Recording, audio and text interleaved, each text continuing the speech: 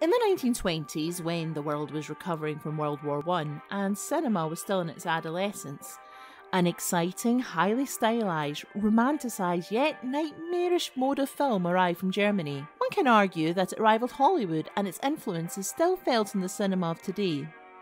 This year will commemorate 100 years since the establishment of the Weimar Republic, and to observe this milestone, I'm going to take a novice's look at Weimar cinema and some films I rather like. Word of warning these films are approaching 100 years old and have been discussed at length by people that are far more intelligent, analytical, and coherent than myself. So, to call this series a collection of video essays or a retrospective would probably be insulting to your intelligence.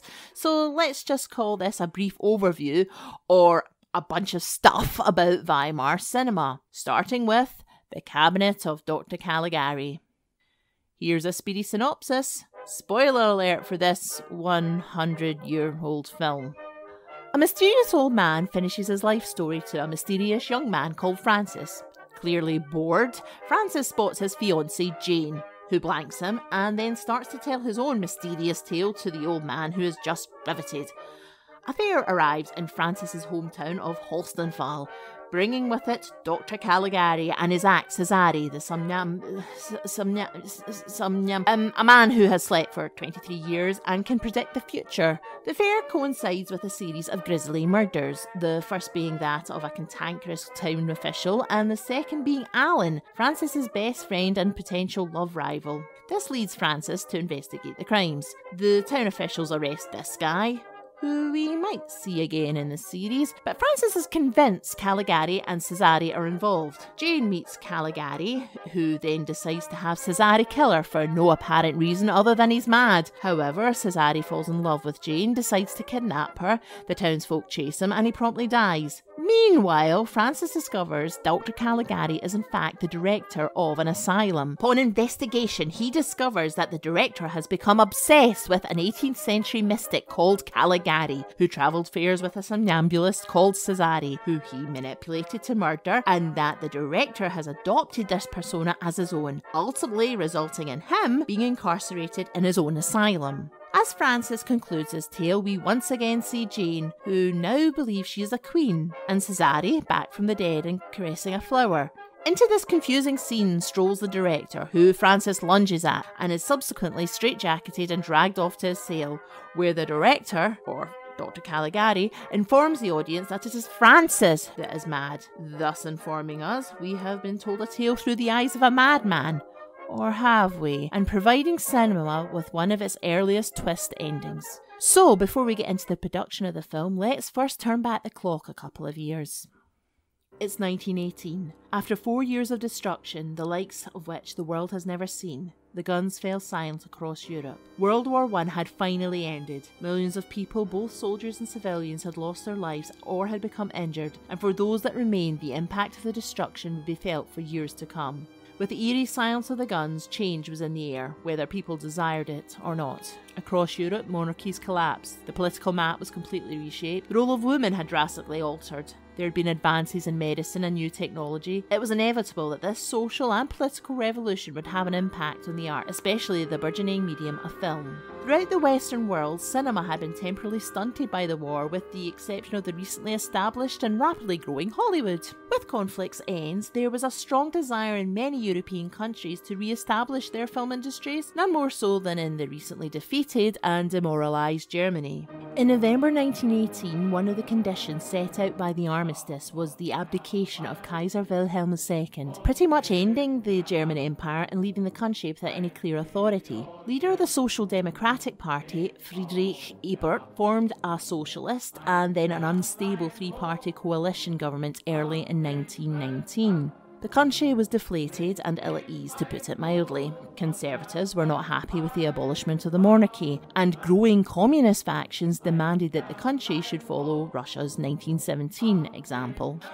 In January 1919, a communist group known as the Spartacists attempted to overthrow the new government. However, their attempts were quickly blocked when Ebert asked for assistance from a far right militia known as the Freikorps. The Spartans leaders were arrested, beaten, and laterally murdered. Despite colluding with Ebert to thwart the uprising, the Freikorps were not exactly fans of the newly formed Weimar government. Enraged by the inexplicable German defeat and the armistice, their mood certainly did not improve when the Treaty of Versailles was signed in May 1919. The treaty was deeply unpopular in Germany, with a prevailing sense of humiliation and that the nation's honour had been signed away. Meanwhile, the Freikorps were involved in various insurrections and assassinations, which would eventually lead to their attempt to overthrow the Weimar government in the Kapp Putsch of March 1920. As the Weimar ministers fled Berlin, a general strike was organised, which meant supplies quickly ran out for the coup, and the unstable, unpopular Ebert returned to his position. During this dangerous, bleak time, Berliners started to notice mysterious posters appearing around the city, which simply read, Du musst Caligari werden, or You must become Caligari. There was no mention as to what these posters meant, just a hypnotic command in spidery writing with a note giving a date, time, and location. This hypnotic and remarkably modern advertising campaign heralded the start of a new, exciting chapter in world cinema as they were for the premiere of The Cabinet of Dr. Caligari. In February 1920, The Cabinet of Dr. Caligari was released to immediate acclaim. Its striking iconography captured the attention of film audiences and critics alike. Despite the dangerous times, German cinema was about to flourish, partly down to the embargo on American films. Yet this new film, with its striking, frantic sets and exaggerated mannerisms, was not the typical escapism that Hollywood would serve up in hard times but something that the German audience was meant to examine, internalise. It's interesting that this film, created in terrifying, dangerous times, is often cited as being the first horror film. The fates of cinema and horror seem preordained. With cinema's birth in 1895, the desire to shock and surprise the spectator came naturally. The 19th century audience revelled in the macabre with Jack the Ripper, Phantasmagoria, Grand Guignol Theatre, Penny Dreadfuls, Gothic literature, and freak shows. Edison's company certainly created pieces of horror, or rather, the trick film. Initially, Mary Queen of Scots, and even an early, rough adaptation of Frankenstein. It was in fairgrounds that many people would first experience what we'd now call horror films, so it seems fitting that the cabinet of Dr. Caligari, whose arrival comes at the end of the first quarter of cinema's first century, predominantly plays out in a fairground.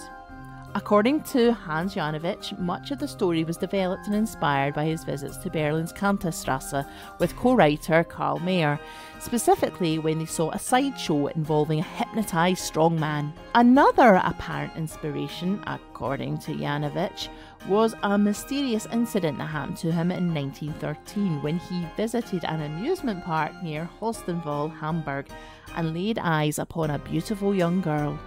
Immediately transfixed, Janowitz claimed to follow the girl and watched her disappear into some bushes, only for a man to emerge from the same bushes moments later. The next day, Janowitz discovered the girl had been murdered and felt compelled to go to the funeral, where, amongst the congregation, he saw the same mysterious man. Much of Hans Janowitz's recollection were from an unpublished transcript, Caligari, the story of a famous story, written nearly 20 years later when Janowitz was in exile. In fact, it was this transcript that Siegfried Kracauer would mostly use when writing his great thesis, From Caligari to Hitler, in which he hypothesized that the film reflected the attitudes of Germany immediately after World War I, with the fairground representing the chaos of Berlin and Caligari representing authoritative tyranny. However, critics of both Kracauer and Janowitz claim they were blighted by hindsight, with Janowitz in particular over dramatising aspects of the production history. The international prestige that Caligari brought the German film industry resulted in anyone associated with it staking their claims in its creation, and it's hard to decipher truth from myth when discussing how this unique landmark in cinema came into being. Hans Janowitz was born in 1890 growing up in Prague and was successful in his early 20s with a career as a published author, theatre critic, and dramaturg. During the war, he volunteered for the Austrian army, but the realities of combat, as well as the death of his brother, brought about his deep hatred of war. Carl Mayer was born in Graz in 1894. According to Janowitz, Mayer's father had been a successful merchant, but impoverished the family through gambling and subsequently committed suicide. Now the family breadwinner, young Mayer travelled to Vienna and managed to find work in theatre, working his way up from actor to dramaturg, writer, and designer. Mayer was also a committed pacifist and refused to join up, though a later biographer would state that Mayer couldn't serve because he had bad feet.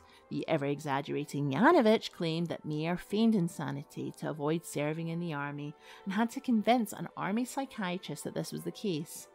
Janowitz would claim that this psychiatrist was a model for Dr. Caligari, saying, he represented the authoritative pressure that was brought to bear upon the powerless young man. Through mutual friends, Janowitz met Mayer in 1918, and shortly thereafter, Mayer would introduce Janowitz to actress Gilda Langer. Langer would serve as a model for Jane, as, like Alan and Francis, both writers were in love with her, and it was she that would encourage the pair to write together. Another eerie myth that is reflected in the film is that Gilda and Janowitz visited a fortune teller who predicted that Janowitz would survive the war, but Gilda would prematurely die. This incident worked its way into the script when we see Cesare foretell the death of Alan. The role of Jane was ultimately played by Lil Dagover, and Langer actually did die prematurely not long after the film was released. Over a period of six weeks, with the German Revolution happening around them, Janowitz and Mayer wrote their script and they quickly presented it to Erich Pommer, then head of Decla Bioscop. At this point, stories start to diverge as to how the finished product came into being. Let's first look at the audacious production design. This is what immediately caught the attention of the critic and film goer. This is what still captures an audience's attention. Janowitz claimed the actual architects of Caligari, from the conception of the idea to the last line of the shooting script, were the two authors and no one else. Even the innovation of having the sets painted on canvas instead of using customary scenery may be found in the directions of the shooting script. However, when a copy of the original script was found decades later, Janowitz's assertions were brought into question on many points. Nowhere in the script did the writers indicate their intentions regarding film design or any other form of mise en scène. It's not too surprising that Yanovich may have wanted to take some credit for the film's courageous production design. Even today, it's much lauded. When you think about it, the actual story and script isn't really overly extraordinary. In fact, it's been described as pedestrian. However, the look of the film was so distinct, gaining international attention, and when you consider that many major names associated with this film needed to flee Germany and re establish themselves, taking credit for the film's most memorable and praised aspect is completely understandable. Producer Erich Pommer, who would latterly become the most powerful individual in the German film industry, also would offer an alternative version of how Caligari's expressionist set designs manifested themselves. Pommer claimed that the writers did verbally express their desire for the film to look unique, to go with their experimental script. However, where the writers saw art, Pommer saw a relatively cheap film. The movie was to be filmed at the glass house, Lixie Atelier, where a film set still had to be mainly illuminated with sunlight even when artificial light was employed. This was a period when there was severe restrictions on electricity and Caligari was to be shot in winter in a city prone to lengthy periods of overcast.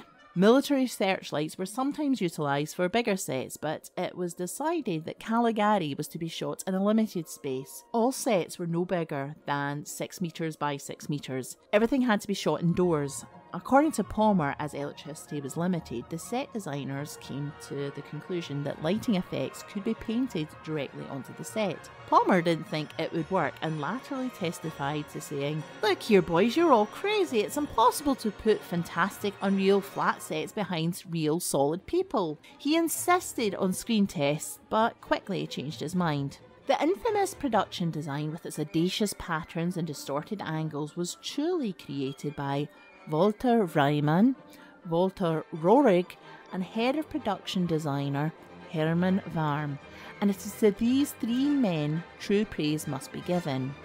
One of the final survivors of the production, Hermann Warm, who was Decla's in house production designer, offered an alternative story regarding the production design and is actually backed up by contemporary sources that Caligari was not in fact produced by Pommer, but once Decla purchased the script, he passed production duties on to Rudolf Meinert, himself an occasional director who had made, amongst other things, the first adaptation of Henry the Baskervilles in 1914.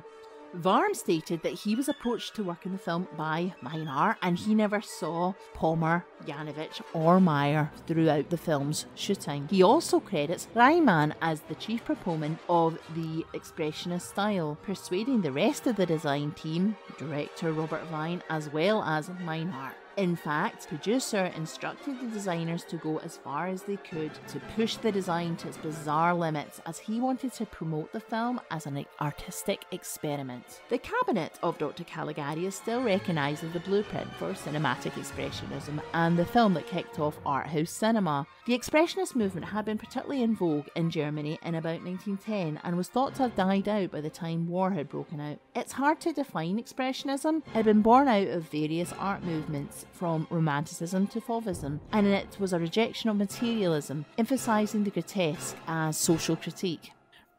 While the art form has some curiously morbid undertones, it was generally optimistic and shared a belief that change was coming. It was anti industrialism, anti bourgeois, but by World War I, the movement abruptly ended as the desire for change and order left a sour taste in society's mouths after the cataclysmic events of the war. A few filmmakers decided to carry the expressionist flame.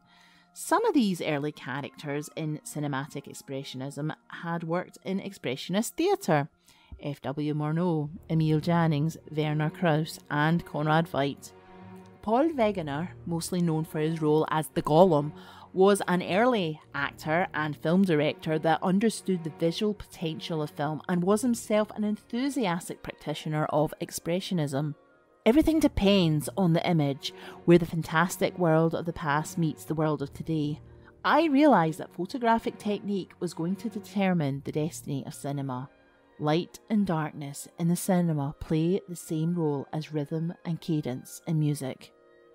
However, the filmmakers of Germany didn't merely want to create a distraction from their harsh realities, they didn't push the false commercial elation that Hollywood is accused of, but displayed a blunt, sinister form of melancholy. German cinema was not for mere amusement, but for an audience to think, to self examine. If one interprets the film as the descent into madness of an individual fighting an authoritarian, the art design reflects and enhances this unbalanced state.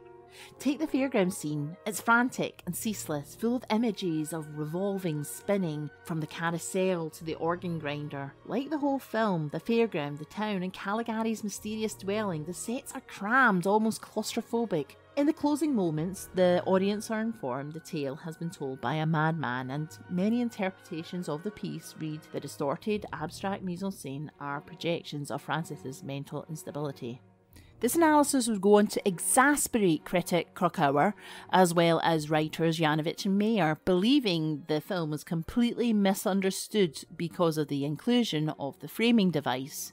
The writers immediately disowned the film for concluding that Francis is the patient at the asylum, despite it being considered one of the first great cinematic twists. Janowitz would forever claim the original tale was a revolutionary take of overpowering crooked authority. However, they believe the finished film showed the futility of fighting authority as it is restored, re establishing itself despite the chaos. There is much debate as to how the famous plot twist came into the final film. The only person that claimed responsibility was, of all people, Fritz Lang. Lang claimed that it was he that introduced Janowitz and Mayer to Pommer, and that the writers wanted him to direct the film. In fact, into the 1940s, Janowitz did hope Lang would direct a possible remake of Caligari. However, in 1920, Lang was committed to finishing his serial, The Spiders, but he did claim after reading the script he suggested that the story should be framed, believing, as his biographer said, that this would intensify the terror of the expressionist sequences. Janowitz and Kracauer placed the blame for the flashback on director Robert Wiene, which maybe is the reason why he is often ignored when discussing the film's legacy. Born into a theatrical family in 1873, Wiene had previously practiced law until he turned his attention to writing scripts and would start film directing in 1912. Throughout the war, his reputation as a film director grew. However, it was the cabinet of Dr. Caligari that would cement his name in German cinema. Though he continued regularly to work after Caligari, his heavily stylized films, Genuine and Raskolnikov, failed to impress. Wiene's most successful post Caligari film was a reunion with Conrad Veidt called The Hands of Orlac, Wiene was the first major individual of the production to pass away in 1938, which obviously meant he was in no position to defend himself or stake his claim on the success of the film. Most film critics and film historians really seem to dismiss Wiene's influence, with critic Kim Newman saying, It's technically not that innovative in the way it's filmed or edited, it's all in the art direction. Wiene is not often given the credit he deserves as director. While the famous shot of Cesare opening his eyes does feature in the script, Wiene would often simplify but also enhance the suggested shots. The original script calls for the awakening of Cesare to be in close up and we see him struggling to breathe. Now, the final film sees Cesare simply struggle to open his eyes, but when he does, the penetrating gaze terrifies us. It's an image that would remain with us over and over again. The murder of Alan is also clearer on screen. The original script calls for moonlight, but there is no shadow play. Again, I believe this is a construct of Wiene's. Under Wiene's direction, Cesare is more of a creature to be pitied. He truly is a manipulated sleepwalker. He has no will of his own. He's not the real monster. Wiene casts Lil Dagover as Jane after Gilda Lange was rendered unavailable due to either dying or getting married. Lil Dagover was born Marie Antonia Seubert in 1887 in Java, East Indies. Her father was a forestry expert employed by the Dutch government to work in the colonies. At age 10, little Marie returned to Germany to attend boarding school, where she would first develop a love of acting. After completing her education, she started to appear in various theatre productions around Europe and would marry Fritz Dagover, who was several years her senior. Lil met Fritz Lang, who would go on to cast her in Harry Harakiri and Der müde Tod. About the same time she met Lang, she met Robert Wiene, who cast her as Jane as soon as they saw Harry Harakiri. Lil Dagover would go on to become one of the most prolific actresses of Weimar cinema. She successfully transitioned into talkies, briefly appearing in one Hollywood film, The Woman from Monte Carlo. She returned to Germany and appeared in several films for the Third Reich. Lil was apparently a favourite of Adolf Hitler, dining with him on several occasions, yet she managed to continue acting in Germany after the Second World War due to her proclamations of political neutrality. She was the last member of the production to die in 1980. Hans Henrik von Twardowski played Alan and was born in 1898 in what was Stettin, Germany, now Poland. He got the role of Alan, an idealistic young student, at age just 21, and this would lead him into more supporting roles throughout the Weimar period. However, with the growing popularity of the Nazi Party, the gay actor decided to flee to America, gaining little but regular work in Hollywood. In 1939, he would appear in the then controversial Confessions of a Nazi Spy, along with many other fellow emigres. He would also reunite with Conrad Veidt in Casablanca. He would spend his final years on Broadway and passed away at the age of 60 in 1958. The history of Friedrich Fehér, who played Francis, is a bit sketchy, but it seems that Fehér was born Friedrich Weiss in Vienna in 1889, appearing in films as early as 1911. After working on Dr. Caligari, Fehér would drift into film directing, most notably Thea von Harbou's The House Without Windows a lost film which apparently had similar art design to the cabinet of Dr. Caligari. As Fehér was Jewish, he fled the Nazis with his family, first to Czechoslovakia, then Britain, where he attempted to set up a film company. Here, Fehér would direct the musical The Robber Symphony, but when both the film and company failed, he relocated to America where he found work as a conductor with the National Symphonic Orchestra, as well as managing grocery stores. After the war, Fehér returned to Germany, passing away in 1950. Both Krauss and Veidt had worked together and had made various appearances on screen for a few years. However, their careers were transformed by the cabinet of Dr. Caligari practically overnight. They would work in a few theatre productions together and a total of nine films. Despite this connection, however, their lives would follow very different paths. Werner Krauss was only 35 when he took on the role of Dr. Caligari. His respectable reputation on the stage, especially in expression drama meant he was an ideal addition for this piece, yet his name would go on to be marred with controversy.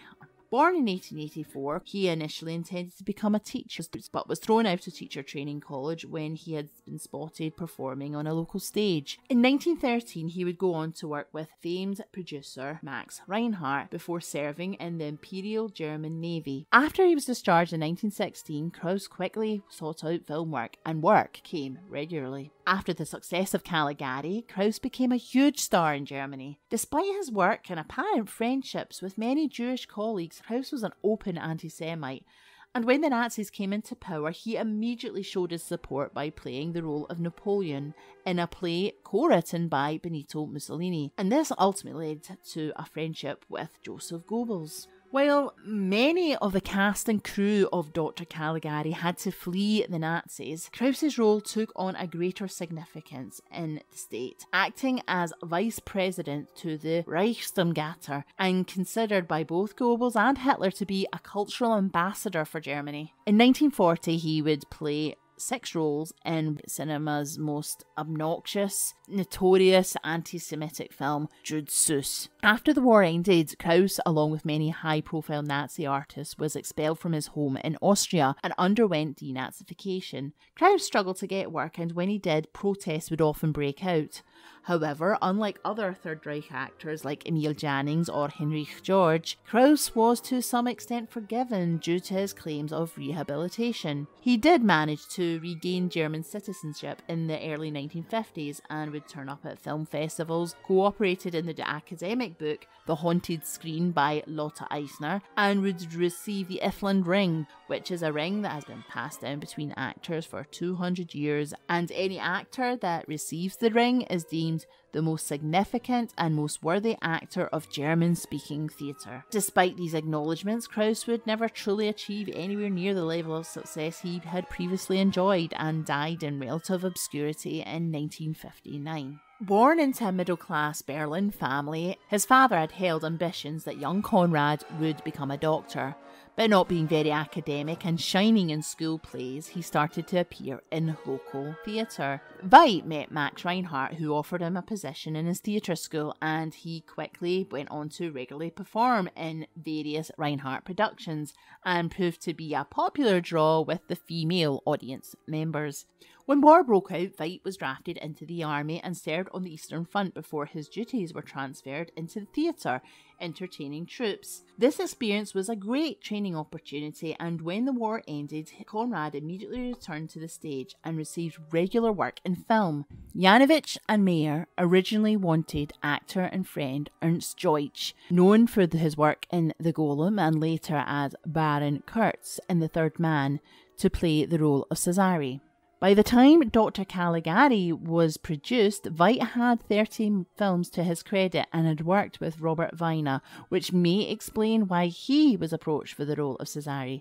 Veidt would latterly say, No matter what roles I play, I can't get Caligari out of my system. Such was the profound impact the film had on the actor and his subsequent career. Lil Dagover would latterly report that Conrad was fully engrossed in the role, terrifying her by creeping around the set. The success of the film resulted in Veidt working around Europe and eventually Hollywood, travelling across the Atlantic and into a contract with Universal Studios, where he would most famously play the role of Gwynplaine in Universal silent horror The Man Who Laughs, before returning to Germany as the silent era came to a close and the Nazi Party were on the rise. Conrad's attitude towards the Nazi Party was the polar opposite of Krauss's. His third wife, Lily, was Jewish, and Veidt was advised to divorce her if he wanted to carry on working within the German film industry. Veidt's response to this demand was to write that he also was a Jew and he fled the country to Britain. One of the first films he made when he arrived on British shores was another adaptation of Jude Seuss, a version that was more faithful to the source material as well as being sympathetic to Jewish people. Veidt carved out a fairly impressive career for himself in the UK before travelling to the United States in 1940. He made quite a few films, somewhat ironically playing sadistic Nazis, the most famous of which being this little one. Tragically, he would have a heart attack in Los Angeles and died at the age of 50, leaving a wife and daughter and a substantial amount of his estate to the British government to aid them in the war effort. Despite an impressive career, Veidt would always be remembered for his role as Cesare in the cabinet of Dr. Caligari. One of the criticisms thrown at the film in 1920 was that some of the acting was too naturalistic, which seemed at odds with the stylised sets. In the theatre, expressionistic acting was in deliberate opposition to realism or the methods of Stanislavski. In Arise, the acting in Caligari and other expressionist films might come across as hammy with its intensity, raw anguish, and extreme euphoria, but it was purposefully so. On stage, expressionist actors would move mechanically, form their dialogue in a flat or rapid or jerky tone. Expressionist productions felt realism focused only on the surface detail, while Expressionism delved into the inner aspects of the character and ultimately humanity. Characters were symbols and impersonal, often not interacting with one another. This is his intention, and it was to get the audience to use their emotions to think, not to sympathise. Now, as Caligari was filmed, many of the acting methods had to be rethought and adapted for the screen, Obviously, dialogue was immediately out the window, and contemporary critics are correct in asserting that certain scenes did contain naturalistic acting, mainly between Jane, Francis, and Alan, which I personally think helps the film and almost evokes a great sense of foreboding and taps into Freud's theories of the uncanny. Yet, experienced expressionist actors Veidt and Krauss very much remain as loyal as possible to this style and seemed pretty much left to their own devices throughout the shoot. Decades later, Krauss would recall that on their first day of shooting, he and Veidt studied the sets, then created their own costumes and makeup to aid them in the development of their characters. Expressionist acting techniques are littered throughout the film. Exaggerated synchronization, excessive terror, rigid claw like hands, and performers carefully choreograph movements that are designed to blend in with the scenery. For example, in this famous scene, Cesare literally bends in with a forest of artificial trees. As David Bordwell and Kristin Thompson comment, his body echoes the tilted tree trunks, his arms and hands, their branches and leaves. The Cabinet of Dr. Caligari had its world premiere at the Marmorhaus on the 26th of February 1920. The premiere run featured music specifically compiled by Giuseppe Becce. For a long time, the score was considered lost. However, working with Becce's anthologies, some of the score was reassembled in 2001 and is available to listen to online. According to Pommer, Caligari opened in a Berlin theatre, but the audience demonstrated against it and asked for its money back. So, after two performances, the theatre threw it out, and I couldn't get another theatre to show the film. Pommer asserted that he personally spent his own money and time on a huge publicity campaign as the film was shelved after its disastrous opening, fought to get it screened, and just by accident, it was once again screened much more successfully at the Marmorhaus, one of the most prestigious theatres in Berlin. There is plenty of evidence suggesting that the film was an immediate success within Germany. The film's initial run lasted for an unprecedented four weeks and was brought back a couple of weeks later, with newspapers declaring that performances were sold out. Also, the Marmorhaus was one of the most prestigious theatres in Berlin, and films were specifically chosen to be shown. There was no such thing as an accident. The film did the rounds in German cinemas for months afterwards. Also, Janowitz has a completely different account of the premiere. Of course he does! Saying that at the end of the film there was a huge applause and a standing ovation from the audience, and that the director, producers, cast, and any crew in attendance had had to take to the stage to acknowledge the applause. Only people that were not happy that night were Janowitz and Mayer, who promptly went to the bar and got bitterly drunk. Over a year later, New York would premiere The Cabinet of Dr. Caligari, lifting the embargo on German films. The New York premiere took place at the impressive Capitol Cinema at 51st Street and Broadway, run by Samuel F. Rothafel. So a live prologue was added with a character called Cranford, introducing himself as the wide-eyed old man that Francis tells his tale to, and concluding at the end of the film that Francis has recovered and he now lives happily ever after ultimately adding a framing device to the framing device, probably infuriating Janowitz even more. A couple of months later, in May 1921, the film would premiere in Los Angeles, and here there actually were protests, but this was mostly down to an imagined fear that a tsunami of German films were going to sweep across the country and destroy the still young Hollywood. On the whole, critics were positive towards the film. The New York Times wrote, the story is coherent, logical, a genuine and legitimate thriller, and after one has followed it through several scenes, the weird settings seem to be of its substance and no longer call disturbing attention to themselves. In Motion Picture Classics, critic Albert Lewin wrote, The only serious picture exhibited in America so far that has anything like the same degree of the authentic thrills and shock of art the tale of a madman unfolded through mad scenery by mad characters has greater intrinsic reality than any of our photographic pictures. The cabinet of Dr. Caligari has established beyond a cavil the integrity of the motion picture as an art. Variety described it as a mystery story told in the Poe manner and fairly prods the interest along at a high pace. Exceptional photoplays wrote the film is a revelation of what the motion picture is capable of as a form of artistic expression. Pauline Kael wrote, The sets are used expressionistically to convey the madman's thoughts, to intensify the character's emotions, and to emphasise the meaning of the action.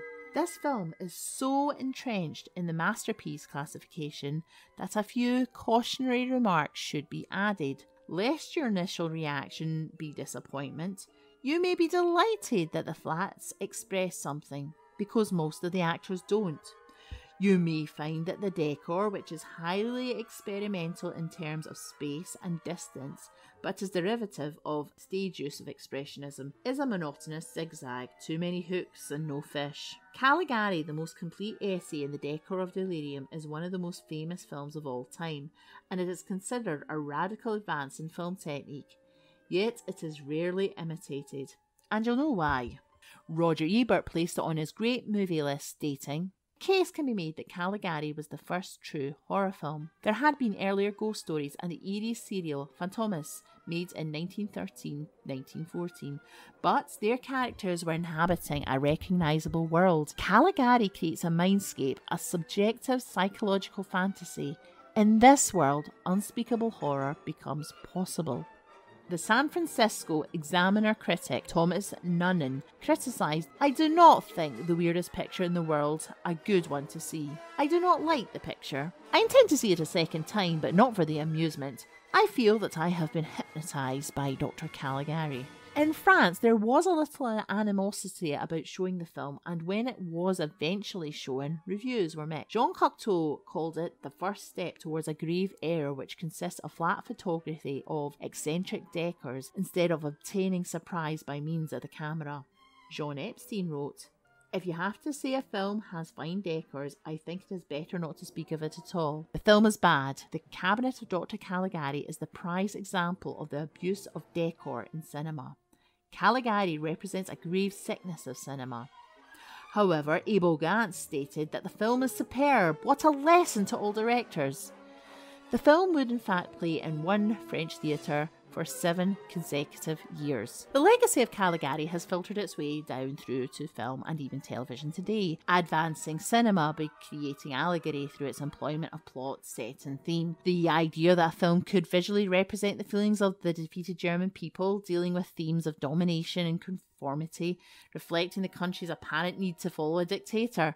The cabinet of Dr. Caligari gave birth to the era of German Expressionism. After Caligari, German filmmakers opted to shoot entirely in studios, creating cityscapes and forests indoors art design became extremely important within the industry, and Hollywood would take note, tempting many talent over to America. Anton Kaes wrote, the style of German Expressionism allowed the filmmakers to experiment with filmic technology and special effects and to explore the twisted realm of repressed desires, unconscious fears, and deranged fixations. Hollywood's golden age of horror, from Universal to Val Lewton, would borrow liberally from Caligari with its use of exaggerated sets, lighting, and even the angry mob. The influence would rage on in the 1940s with film noir, with shadows and light creating claustrophobic interiors and threatening exteriors. Widely considered the first noir, Stranger on the Third Floor made of the atmospheric shadows, weird camera angles, and like Caligari, featured a twist ending. The distorted scenography presented in Caligari would really be as blunt and obvious again, yet this style would be known as Caligariism, and we see them in early horror and noir. Instead of the painted backdrop of Holstenwall's contorted buildings, cameras would be angled and distorted, thus creating the Dutch, or rather Deutsch, angle, often to express a character's disorientation. During a stint as an assistant director at the UFA Babelsberg studio in Berlin, a young Alfred Hitchcock was schooled in Expressionism, taking the influence back with him to Britain and laterally Hollywood. Hitchcock would use light and shadow throughout his decades long career. We see it from 1926's Lodger right up to Psycho. The Salvador Dali design sets in Spellbound clearly echoes Caligari. While making Citizen Kane, Orson Welles apparently ordered a copy of Caligari from the Museum of Modern Art and armed with a film handbook specifically created for him by production assistant Miriam Geiger, the first time film director taught himself filmmaking, matching visual vocabulary. The darkness and chaotic distortions can be seen in Citizen Kane, with its objective photography and shots sharply focused from foreground to background throughout. Caligari has inspired Lynch, very evidently Tim Burton, and even young 21st century filmmakers. Is The Cabinet of Dr. Caligari my favourite silent film? No. It's not even my favourite German expressionist film, but it lit a fire, starting an exciting cinematic trend and though it's 100 years since its conception and its revolutionary freshness might seem archaic and alienating to a modern audience, it's still a fascinating watch and a, and a film that uncannily lingers with you long after the final iris crows on Werner Krauss. I have heard it called cinema's first masterpiece, but unlike other films with that label, it is hard to credit this film to one person. In the preceding decades, it seems as if everyone wanted sole credit for this film's success. However, subsequent analysis and historical research shows that it truly doesn't take one person or even two to make a masterpiece. This was truly a collaborative effort made by a group of young, idealistic, traumatized artists coming together at a slightly terrifying moment in history and creating art that would continue to haunt their audience as well as generations to come.